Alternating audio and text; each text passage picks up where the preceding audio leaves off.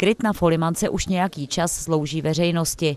Akce s názvem Žít kryt propojila dohromady řadu aktivit. Hlavní myšlenka této akce je představit další dva ze skrytých příběhů a zároveň tyto skryté příběhy, konkrétně příběh od operace Anthropoid, eh, spojit s takzvaným street artem, protože jsme sem pozvali mladé umělce, lidi, eh, kteří dělají umělecké grafity a chceme ukázat, že eh, grafity lze v nějaké míře legalizovat, pokud ty obrazy jsou skutečně eh, tvorbou. Zatímco v parku pracovali umělci uvnitř krytu, se lidé mohli dozvědět podrobnosti o dalším ze skrytých příběhů.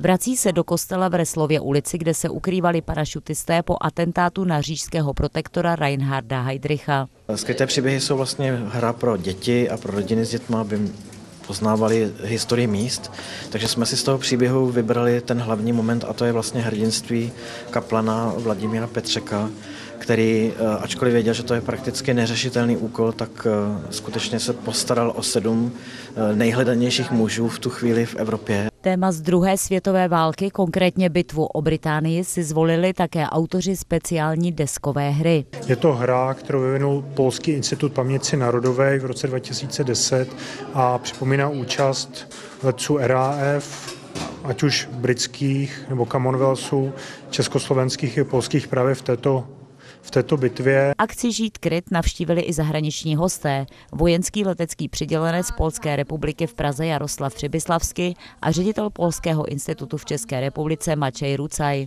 Věra Dušková, televize Praha.